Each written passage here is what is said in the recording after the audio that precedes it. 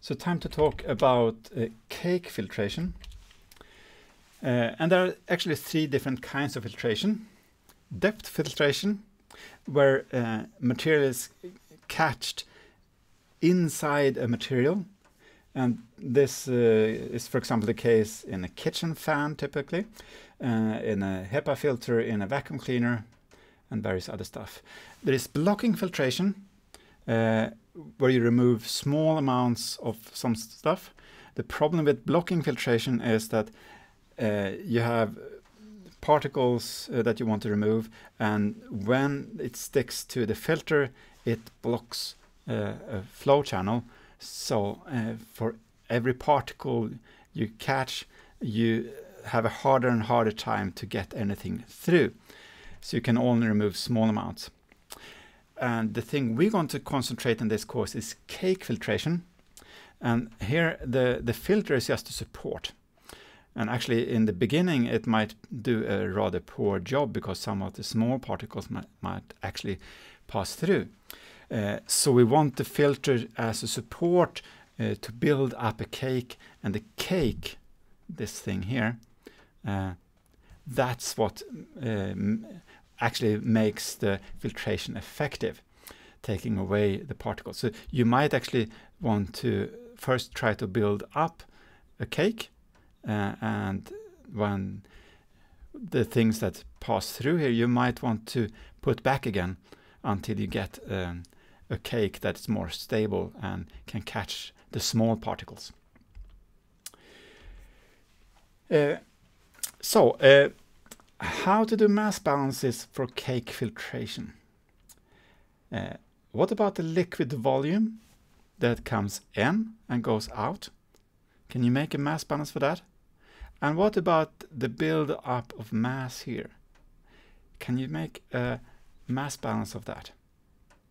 Pause here and try to figure out equations you could use for these two mass balances. Okay, uh, so let's look at this. For the liquid, or the gas, if it's a, a gas filtration, you have a volume coming in, and the volume going out is almost the same as the volume coming in, but not quite, because uh, this material here, the cake, it's porous. So some of the gas or liquid will actually be left in the cake. Uh, and how much? Well, that's the porosity of the cake times the volume of the cake. That's how much void volume there in there is in there, and that void volume can be filled with this liquid or gas. What about the particles? Well, if you have a concentration of particles C and a volume that you want to filtrate, then V times C is uh, the amount of particles you have. Uh, preferably you don't want any particles to pass through. So let's assume that that's zero. Otherwise you have to have a C out concentration here times uh, V out. And what's, accumulated, uh, what's accumulated is the mass uh, of the dry weight of the cake. Now, so if C here is in gram per liter and V is in liter, then this is in grams, right? And if you have other units, you have to, well, adjust. Things to reflect on. Is this volume here, uh, the porosity times the V cake, is that negligible in relation to V out? I mean, if you if you filtrate uh, 10 cubic meters and then EV cake, if that is small, let's say it's it's half a liter or something, then perhaps you don't need to take that into account. Uh, another thing is that I already mentioned, is the concentration in the outlet really zero? Perhaps not. And then if it's not, you need to adjust here. And the problem is that the concentration might actually vary as the filtration goes on. You're going to use an equation for cake filtration, and let's try to derive that step by step. Uh, you have actually two porous media here. You have the filter and you have the cake. So the pressure difference is the pressure difference over the cake plus the pressure difference over the filter. And you might remember Darcy's law, V equals K times delta P divided by mu L. And uh, well, the velocity is 1 divided by the area dv dt. Uh, so dt uh, is the derivative of the volume that has passed through. Uh, which means that we can write the delta p cake as mu l divided by a k dv uh, divided by dt, so dv dt. The next part is a bit tricky, but let's just, so this part is a bit difficult. L equals L, m divided by the area, and the density of the particle, uh, and then 1 minus the uh, porosity. What does this mean? Well, if you think of, of uh, the particles in the solution, uh, think of that as solid spheres for a while. They have a certain uh, density. And the cake will have a certain area. And the cake will have a certain porosity as well. And uh, the material collected have a certain mass. And the, the thickness of the cake must be related to these somehow. And if you want to, you can sit uh, by yourself and try to figure this out, but this, this equation is correct. Uh, but and if we've used this equation here and put that in our earlier equation, we get this equation here. But the mass is the concentration times the volume.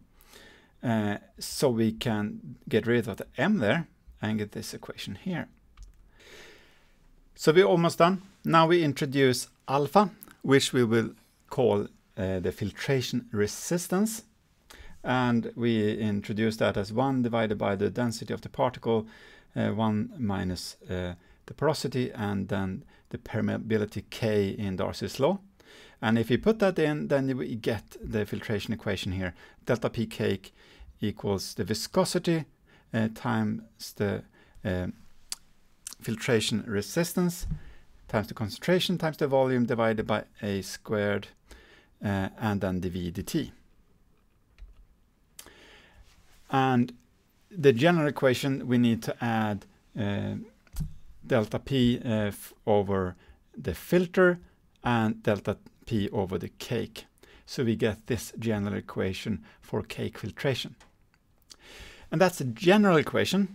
We will often use uh, cake filtration for constant transmembrane, uh, sorry, constant pressure applied and also constant filtration resistance.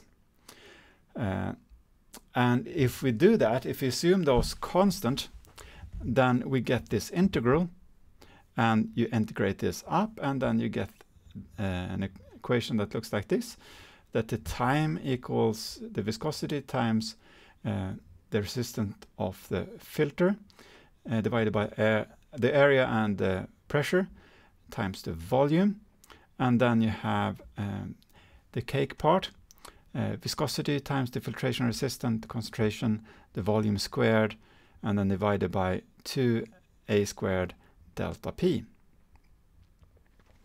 Now, you, uh, you can actually linearize this equation.